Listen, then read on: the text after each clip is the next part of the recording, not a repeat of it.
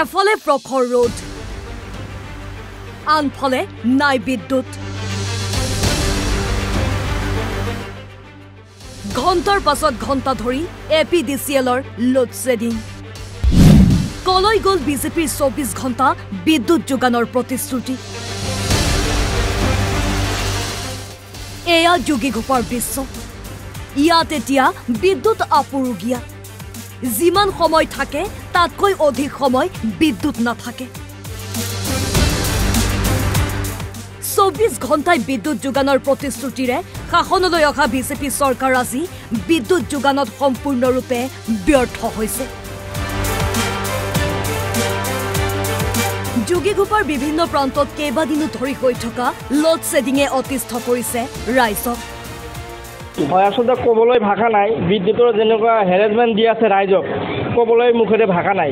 কাৰণ আপোনালোকে গম পায় এইফালে বিদ্যুৎ সঘনাই কৰ্তন হৈ আছে এইফালে বিদ্যুতৰ বিল বৃদ্ধি হৈ আছে। কাৰণ ৰাইজক কুঁহিয়াৰ চেপা দি আছে এনেকৈ এই চৰকাৰখনে কৰি আছে। আৰু যিখিনি সময় লাইন দিয়ে তথাপিও হাফ ভল্টেজ মটৰেদি পানী নুঠে ল'ৰা ছোৱালী বা ফেন নুঘূৰে বা ল'ৰা ছোৱালী ঠিকমতে পঢ়িব নোৱাৰে।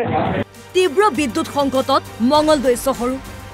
চৌবিছ ঘণ্টাত মাত্ৰ তিনি ঘণ্টাহে বিদ্যুৎ থাকে। সেয়াও আকৌ ভল্টেজ নাই। স্মাৰ্ট মিটাৰেৰে ধন সংগ্ৰহ ঠিকেই কৰি আছে। নাই মাত্ৰ স্মাৰ্ট বিদ্যুৎ যোগান।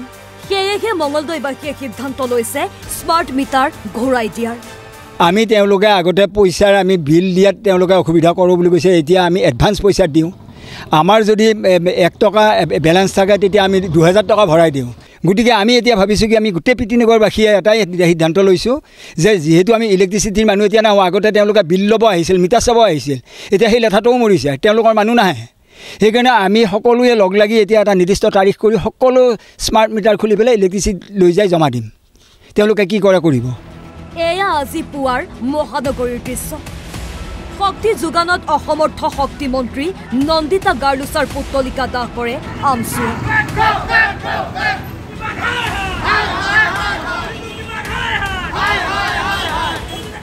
শক্তি বিভাগৰ অকমৰ্ণতাক ধিক্কাৰ দি আমচুৱে দাবী কৰিলে মুখ্যমন্ত্ৰীৰ হস্তক্ষেপৰ। ৰাজ্য মাননীয় মুখ্যমন্ত্ৰী ডক্টৰ হিমন্ত বিশ্ব শৰ্মা ডাঙৰীয়াই নিৰ্বাচনৰ প্ৰাক মুহূৰ্তৰ ৰাজ্য জনতাক এটা প্ৰতিশ্ৰুতি প্ৰদান কৰিছে। ৰাজ্যখনত চৌবিছ ঘণ্টা বিদ্যুৎ নিয়মা হ'বৰ বুলি কিন্তু ৰাজ্য মাননীয় মুখ্যমন্ত্ৰী সকলো কথাৰ মিছা যে আজি স্পষ্ট হৈ গ'ল। আমি আমচু কেন্দ্ৰীয় সমিতিৰ নিৰ্দেশমতে সমগ্ৰ অসমৰ লগতে গুৱাহাটী মহানগৰ জিলাৰ সমিতিও আমচুৱে ৰাজ্যৰ বিদ্যুৎ মন্ত্ৰী নন্দিচা নন্দিতা গাৰুচা ডাঙৰীয়ানী আজি প্ৰতিমূৰ্তি দাহ কৰি আমি প্ৰতিবাদ কৰিব বিচাৰিছোঁ। বিশেষকৈ ৰাজ্যখনত সঘনাই বিদ্যুৎ কৰ্তন আৰু লগে লগে বিদ্যুৎ গ্ৰাহকৰ ওপৰত যিটো বিদ্যুৎ মাচুলৰ বৃদ্ধি তাৰ প্ৰতিবাদত আমি নন্দিতা গালচাৰ ডাঙৰীয়ানী প্ৰতিমূৰ্তি আমি দাহ কৰিছোঁ। বিদ্যুৎ বিভাগৰ বিৰুদ্ধে গোসাইগাঁৱতো আমচুৱে উত্তাল প্ৰতিবাদ সাব্যস্ত কৰে।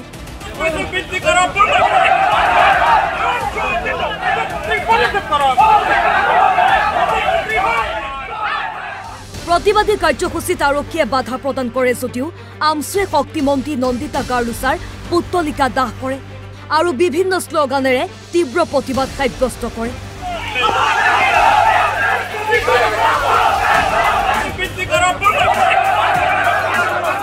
যি বিদ্যুতৰ যি অনিয়ম বিদ্যুৎ মন্ত্ৰী যিজন আছে শক্তিমন্ত্ৰী যিজনী আছে নন্দিতা গালুচা তেখেতৰ যদি তিল পৰিমাণৰো লজ্জাবোধ অনুভৱ হৈছে আজিৰ এই পৰিস্থিতিৰ কাৰণে তেখেতে অতি সোনকালে পদত্যাগ কৰিব লাগে বুলি আমি সদৌ অসম সংখ্যালঘু ছাত্ৰ ইউনিয়নে অনতি পলমে দাবী জনাইছোঁ।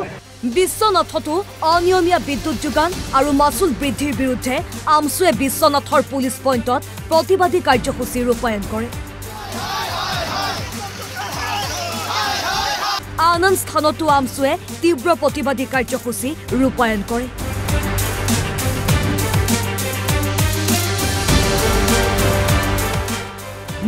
Report N B news